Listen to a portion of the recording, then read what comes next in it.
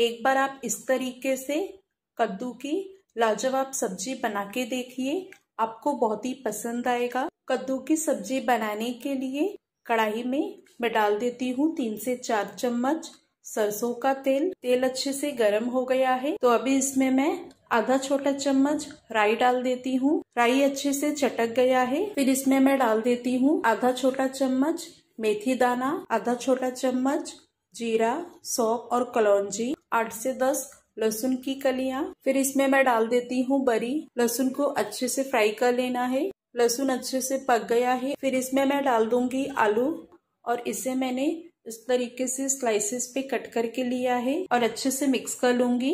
यहाँ पे मैंने आधा किलो कद्दू लिया है और इसे मैंने इस तरीके से कट कर लिया है।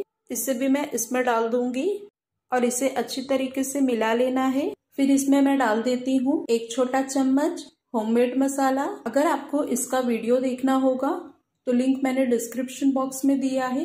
आप वहाँ पे जाके देख सकते हैं। आधा छोटा चम्मच हल्दी पाउडर आधा छोटा चम्मच नमक। नमक आप अपने टेस्ट के अकॉर्डिंग कम या ज़्यादा कर सकते हैं और इसे अच्छी तरीके से मिक्स कर लूँगी। इसे मैं ढक के 10 से 15 मिनट के लिए स्लो मीडियम फ्लेम पे पका लूँगी और इसे हमें बीच बीच में चलाते भी रहना है।